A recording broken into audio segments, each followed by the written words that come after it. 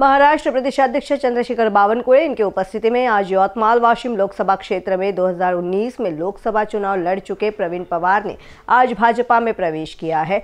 और नरेंद्र मोदी, देवेंद्र फडणवीस इनके नेतृत्व में जिस तरह से विकास हो रहा है, उससे प्रेरित होकर आज भाजपा में प्रवेश करने की बात प्रवीण पवार ने कही। सर, माझं नाव प्रवीण पवार. मी यवतमाळ वाशिम लोकसभा दोन हज़ार एकोणीसला लढलो.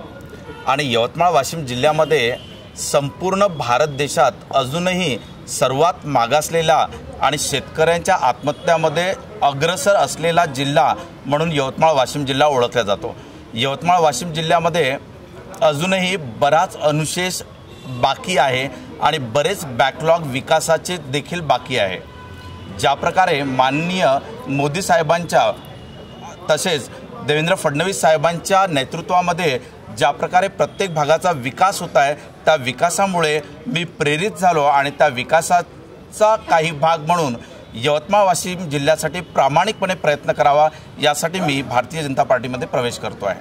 भाजपकडनं तुम्हाला काय अपेक्षा आहे?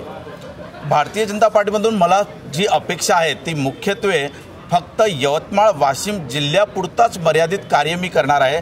त्याच्यामध्ये शेतकऱ्यांचा तसंच रोजगाराचा जो मुख्य विषय आहे तो मी सॉल्व्ह करण्याचा प्रयत्न करेल.